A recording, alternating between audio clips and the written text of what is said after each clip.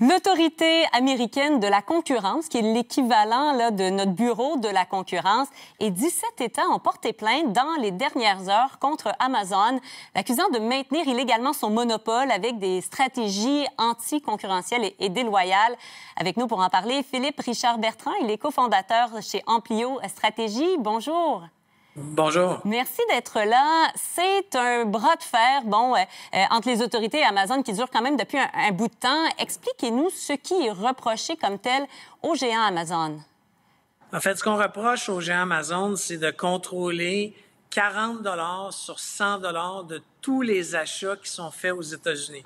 Il y a 40% de tous les achats qu'on peut penser, que ce soit des bijoux, hmm. euh, de la nourriture, des trucs pour la maison, 40 sur Amazon et euh, les 17 États américains euh, trouvent que c'est beaucoup trop et que c'est anticoncurrentiel euh, d'avoir autant de portée dans les ménages américains. Est-ce que ici aussi, parce que bon, on parle de 40% aux États-Unis, mais est-ce que euh, au Québec, au Canada, euh, on voit comme ça un écart important entre, par exemple, ce que peut offrir un, petit détaillant en termes de prix, en termes de temps de livraison et ce qu'offre Amazon? Est-ce que ça a un impact aussi important sur nos commerçants ici? Effectivement, ça a un impact parce que si on pense à Amazon Prime, l'abonnement qui nous permet d'être livré gratuitement annuellement en sol québécois, ça vient faire une compétition extrêmement difficile aux Simons, aux Sport Experts, aux Attitude Sport de ce monde.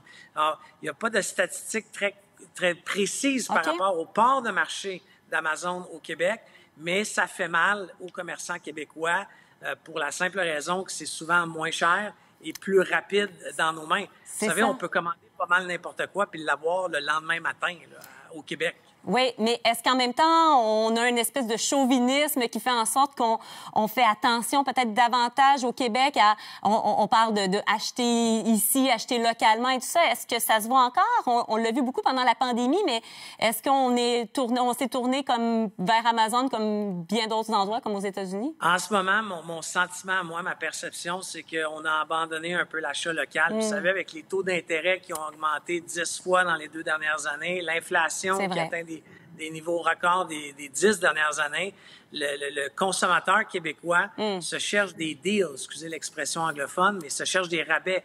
Donc souvent, Amazon euh, est moins cher. Il y, a, pas, vous savez, pour avoir une, livraison gratuite au Québec, mm. dans la plupart des détaillants, il faut acheter pour 100 dollars, ce qui n'existe pas. Je pourrais m'acheter un item de 4 dollars sur Amazon, puis je vais l'avoir demain si je suis mm. un abonné d'Amazon Prime. C'est plus Sauf difficile. Que ça amène questions. C'est ça. C'est plus difficile d'avoir des, des, principes, par contre, quand on n'a pas d'argent dans nos poches euh, avec le, le, contexte économique actuel. On, on, le comprend très, très bien.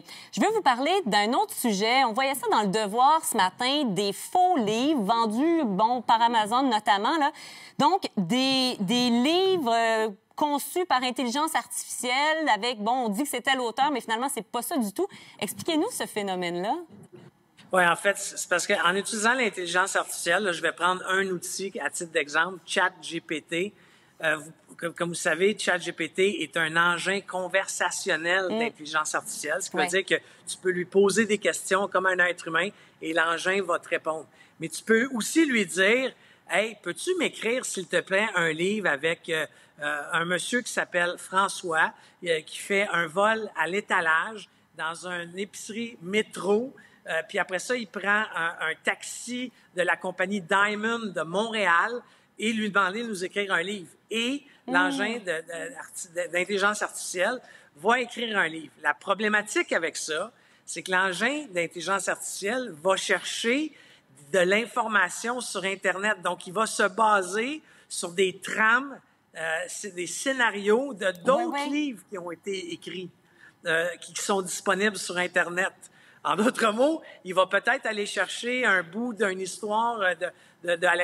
Il va peut-être aller chercher un euh, de Michel Tremblay. Puis là, il va faire un ramassis de tout ça. Oui, mais on pourrait dire, je veux que tu m'écrives une histoire avec les personnages de Tremblay. Vous donnez l'exemple de Tremblay, dans le style de Tremblay, et ça ressemblerait à du Tremblay. Exactement. Tu sais, je vais, vous, je vais vous faire un exemple très concret de ça. Moi, je fais souvent des annonces à mes employés et je suis un amateur du film La Matrix, The Matrix, avec Keanu Reeves.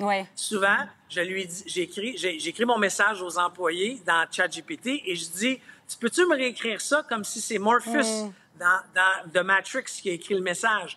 Et ChatGPT va rajouter des histoires sur la pilule rouge, la pilule bleue, etc.